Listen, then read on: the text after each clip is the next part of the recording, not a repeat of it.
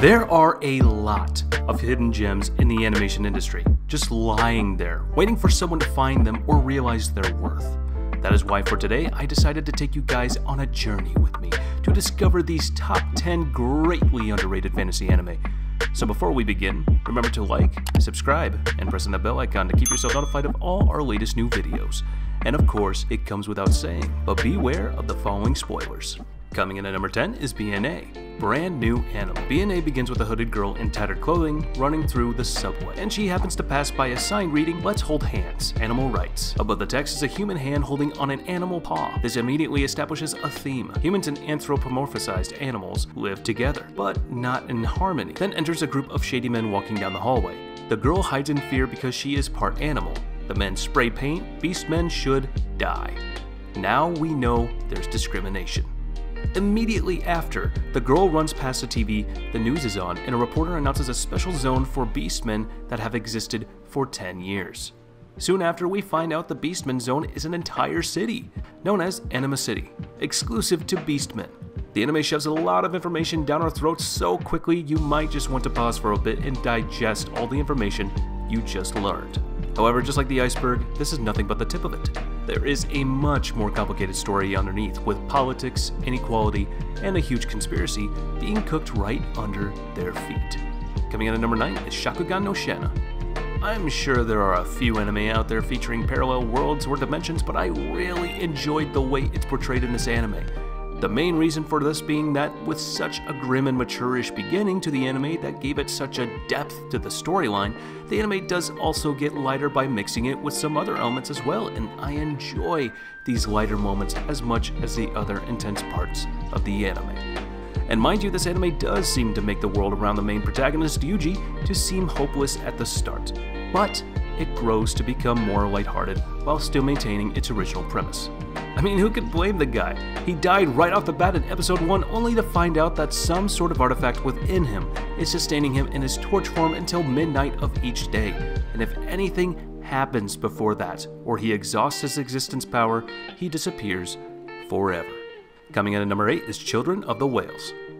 When it comes to the music and aesthetics of the show, this series screams perfection and beauty. However, this is as far as it goes when it comes to its beauty and vibrant colors. The story is a complete opposite to everything I just said. About 90% of the population on board of the enclosed small society known as the Mud Whale possesses telekinetic abilities known as Thymia, which leads the afflicted to an early death which earns them the title of the Marked. This leads the 10% of normal people to assume the role of the government, who are also referred to as unmarked. The show opens with a somber funeral scene where the main character, Chakuro, is seen holding back tears with many other fellow mud whalers. Things only get weirder and weirder going forward from here as well. The show isn't for everybody, however, it is quite a unique series to watch, and it would be a bloody shame if you guys miss such a chance. Coming in at number 7 is Blood Blockade Battlefront. With these eyes, the main character is practically invincible to all trickery and deceit, though a single bullet can end him. This power isn't one used for evil or one with destructive powers. These eyes are all seeing and allow him to see through all lies and dismantle any illusion, no matter how powerful or well created it is. The main character himself isn't a fighter, he is more of an irreplaceable supporter whose job is to help his teammates in their battles, not battle himself. He is powerful in his own right though, thanks to his abilities, his dormant one that is, which by the way he doesn't unlock until the final episode or so, and even then he still is unable to use it. His job isn't to fight, instead his job is to coordinate the battles, helping his allies gain an undeniable advantage in their fights. Coming in at number 6 is Wolf's Rain. In a dying world there exists an ancient legend. When the world ends, the gateway to paradise will be opened. This utopia is the sole salvation for the remnants of life in this barren land. But the legend also dictates that only wolves can find their way to this mythical realm. Though long thought to be extinct, wolves still exist and live amongst humans, disguising themselves through elaborate illusions. But here we'll start with one of the main characters, Kiba. He has a goal and he'll do anything to reach it. But he has two distinct sides to his character. One is his proud, rash, and arrogant self that attacks anything that stands within his way. And the other is a quiet, mysterious, and observing type that is expressed when meeting new friends. For instance, when he was reluctant to say his name to Hige and whenever he is around Cheza. Though not technically the sorrowful character one would expect him to be, in an orphaned and lonely state, he still makes sad connections to his past. He is the typical main character that anyone would love and fall for. However, the show is much more than that. It has many hidden secrets and subtle things that can completely change how you look at a character. The best part is they are mostly subliminal and take a lot of effort and concentration to find. For my anime theorist fans out there, if you try hard enough, you might even discover what happened 200 years ago. Coming in at number 5 is Haibane Renmei. This series starts off in an old home, a small village full of enthusiastic youths. The story focuses on a group of five female Haibane, which are girls, with halos above their heads and gray wings. The five eventually become six, as a new girl, Rakka, falls into their world. With little tangible plots to grip onto beyond the premise, Haibane Renmei essentially revolves around the characters' journeys in confronting their own personal issues. Set against the mysterious backdrop of Old Home and the encompassing town, along with the fact that, for some reason, they are never allowed to leave the town or come close to its fences, even though a lot of Haibane disappeared mysteriously. People often have gripes about plot points and settings not being literally explained or explored. But in the case of this, the fact that the surroundings of the Haibane and their circumstances are a nostalgic haze lens focused to their internal struggles. Coming in at number 4 is Paprika. Calling this movie weird, messed up, and outright bizarre is the understatement of the century. Many people have watched this movie, and even though they like it, when you ask them what it is about, they'd be like, uh, I have no idea, man, but it looked cool, and it was fun, and honestly, I don't blame them one bit.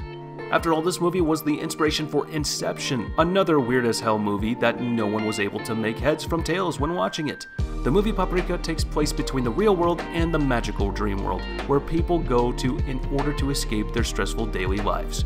And we are introduced to many different examples that enjoy being in the dream world for widely different reasons. This movie is quite fun and enjoyable. However, its sole plot is about finding balance. Balance between the dream world so you won't get sucked into it, and the real world. And the real world so you wouldn't become a depressed old man or lady with 200 cats that will later on commit suicide. Oh, is that a little too harsh? Well, as long as you find the perfect balance between life and pleasure, you're good. Coming in at number 3 is The Ancient Magus Bride. This girl was too hopeless and brainwashed. She lost any hope she had in having a normal life. Being enslaved and sold to the highest bidder in an auction can be hard and terrifying for a 15 year old girl. However, Chise Hattori was prepared to give herself into anyone as long as she can have a place to call home. One hell of a rough childhood if you think about it.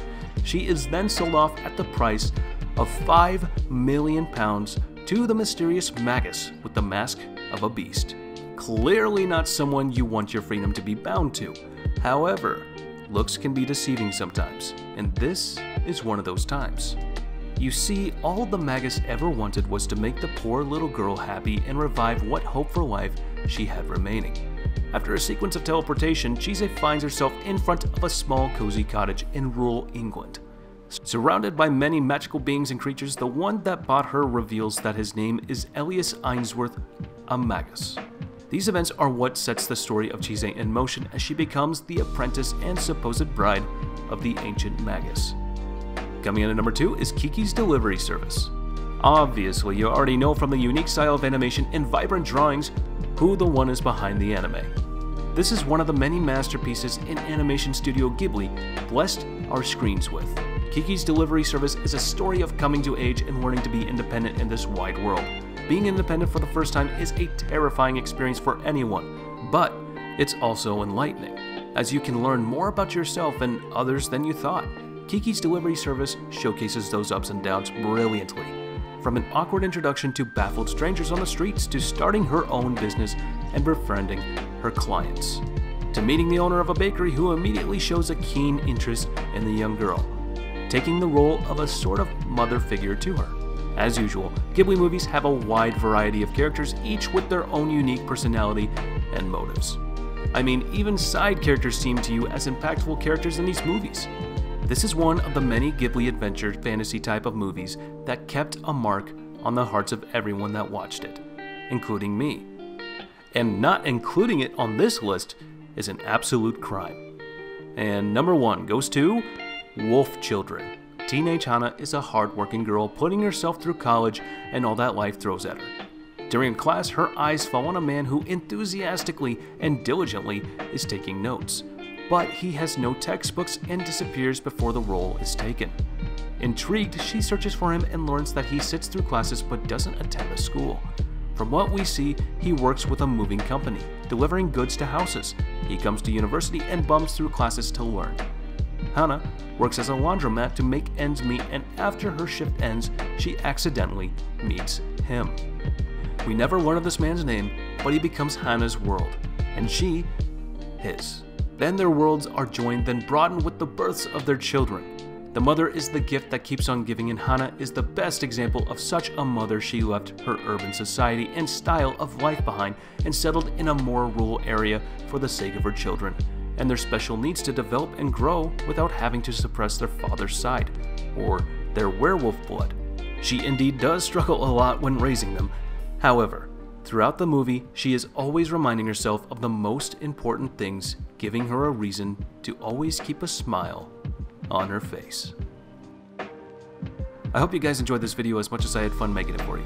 I would appreciate it if you guys would smash that like button, subscribe, comment, and press on the bell icon to keep yourself notified of all our latest new videos and upcoming projects. And if you have any cool ideas for any upcoming videos, don't be shy. Share them in the comments with us down below. And as for now, I'll catch you later. See you in the next one.